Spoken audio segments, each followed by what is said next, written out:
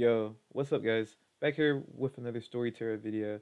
I know it's been a minute since I've told a story, and I thought what better way to celebrate 10 subs than with a crazy story. So, yeah, I'm gonna stop talking, and without further ado, thank you, and please enjoy the video. So, this story is kind of important because it happened like very recently.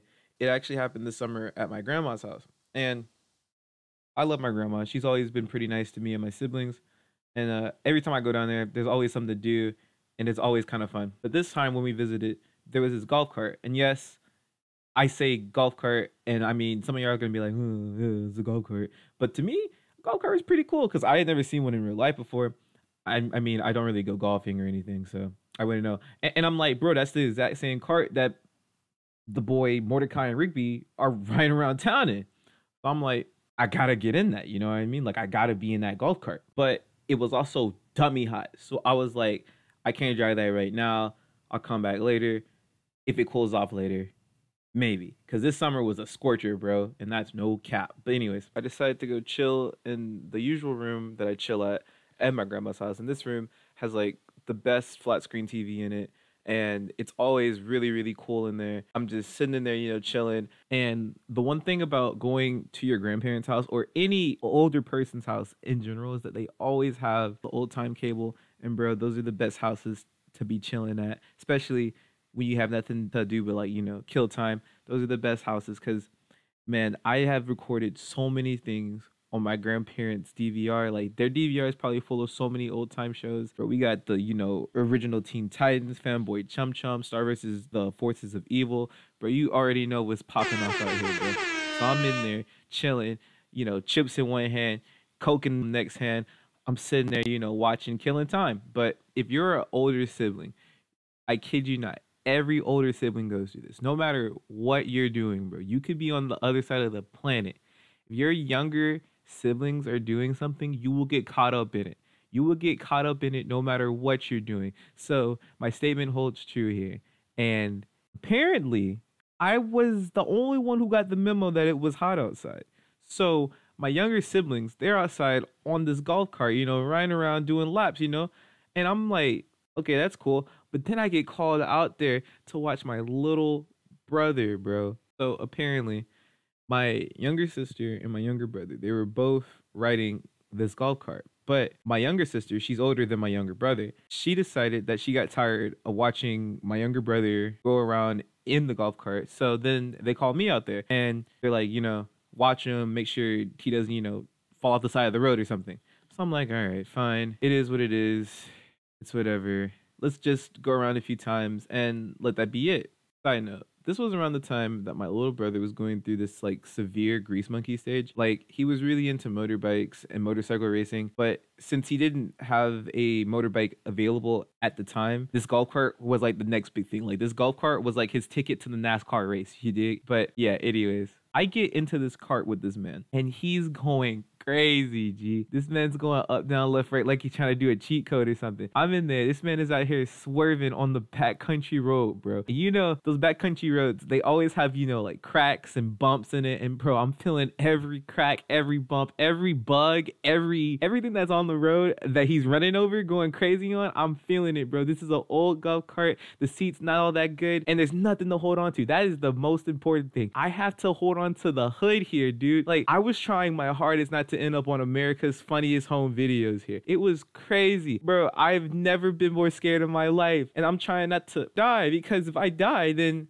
who's gonna carry on my legacy? I ain't got no kids. I ain't got no girlfriend.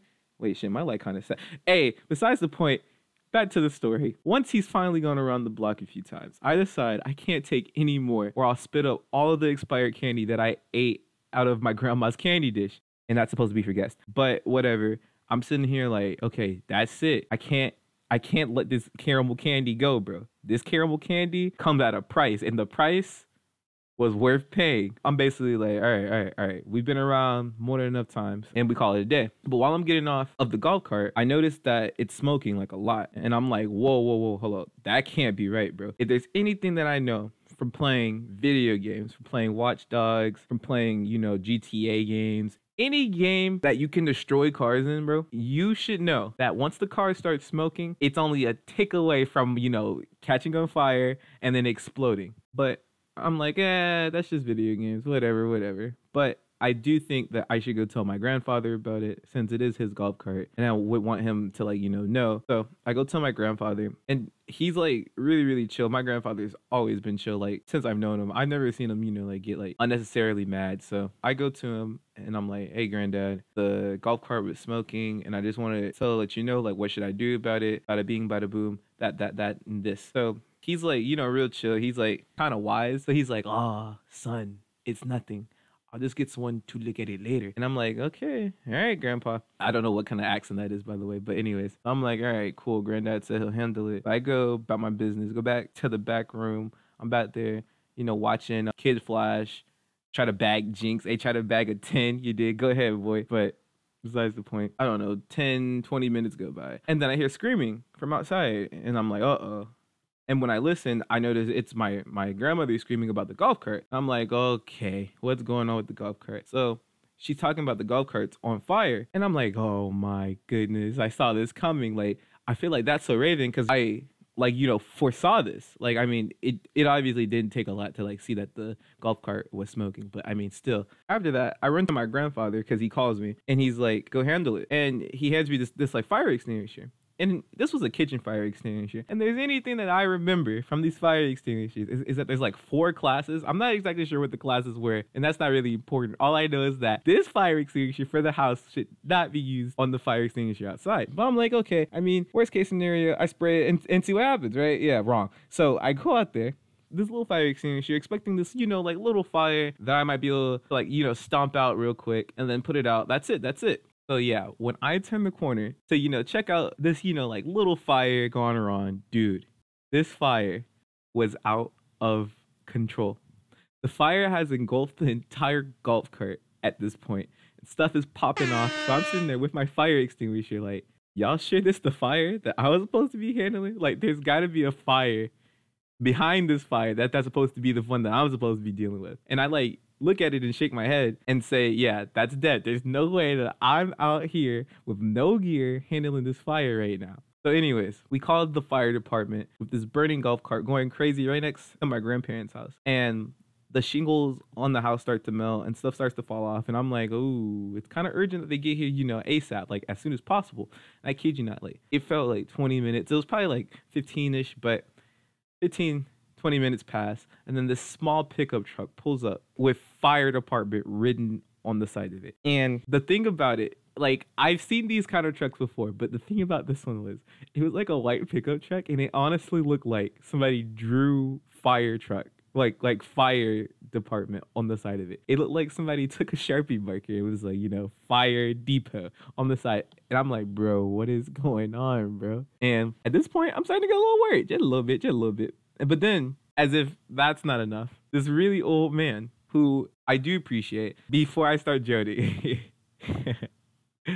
before I start talking about him, I really do appreciate this old man and his um son or his grandson was with him. Anyways, that's the point. They hop out, and I'm like, oh no, it's doomed. He gets out with this, you know, big fire extinguisher. And this fire extinguisher looks like it's, you know, more professional. But he sprays the fire and no cap the fire gets bigger. I've never seen a fire like get mad, but this fire was definitely getting pretty pissed at how lightly everyone was handling it. First, I came out there my little extinguisher, and then they came out here with this extinguisher. We need like, you know, water. Like, has anybody tried water? I mean, I know, you know, like fire extinguishers are supposed to be better at this kind of thing, but nothing beats, you know, the old bucket of water, throw it on the thing, and see what happens, right? So after this fire displays how serious that it is, everyone decides to wait on the big fire truck that's like taking a year to get here. Long story short, fire truck finally comes and the fire gets put out with no problems. My grandparents, they had